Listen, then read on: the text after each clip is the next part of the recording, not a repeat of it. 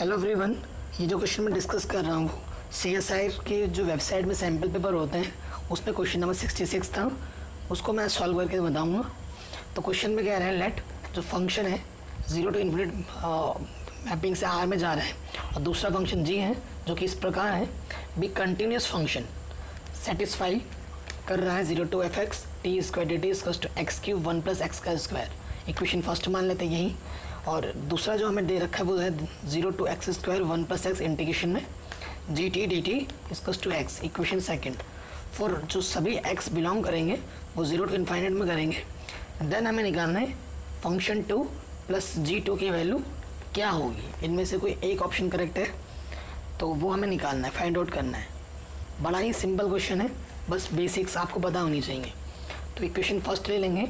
जो कि हमारे पास इस प्रकार से integration zero to f x t square d is equal to x cube plus one plus x square है।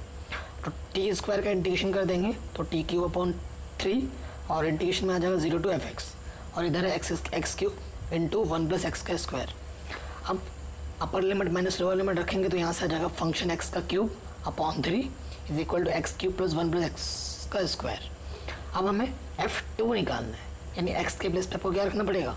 टू। तो रख देंगे, जहाँ जहाँ एक्स है, वहाँ पर टू रख देंगे। तो आपको जब इसे आप सॉल्व करेंगे तो आपको मिल जाएगा एफ़ टू का क्यूब इसका टू दो सौ सोलह, यानी कि जब क्यूब रूट निकालेंगे आप तो एफ़ टू आपको मिल जाएगा सिक्स एफ़ टू तो मिल गया। अब हमें निकालना है जी टू जी टू मिलने के बाद हम इसे ऐड कर देंगे तो हमें हमारा रिक्वायर्ड आंसर मिल जाएगा। तो जी टू में थोड़ा प्रॉब्लम हो सकती है, उसे हम शॉर्ट आउट कर लेंगे। तो इंटीग्रेशन हमारे पास है zero to x square one plus x multiply में, और यहाँ पर है जी टी डी टी इसका टू एक्स तो इस प्रॉब्लम को हमें सॉल्व करना है with the help of Leibniz rule Leibniz rule में क्या होगा? इसका जो इंटीग्रेशन करने के बाद वैल्यू पुट अप करेंगे यहाँ पर. एक्स स्क्वायर मल्टीप्लाई में वन प्लस एक्स आ जाएगा जी में. और अपॉन में जब देखिए इसके साथ मल्टीप्लाई करेंगे ना तो x cube plus x square होगा तो वो अपॉन में आ जाएगा। एक्स क्यूब का डिफ्रेंशिएशन थ्री एक्स स्क्वायर और एक्स स्क्वायर का डिफ्रेंशिएशन टू एक्स और एक्स का डिफ्रेंशिएशन वन हमें वैल्यू निकालनी है जी टू की। या इस, इसकी वैल्यू क्या होनी चाहिए? टू होनी चाहिए।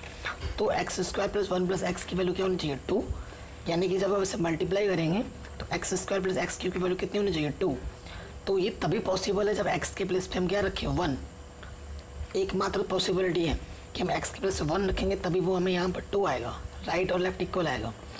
तो हम एक्स के प्लेस पे हमें क्या रखना पड़ेगा? यहाँ पर वन तभी यहाँ जी टू होगा।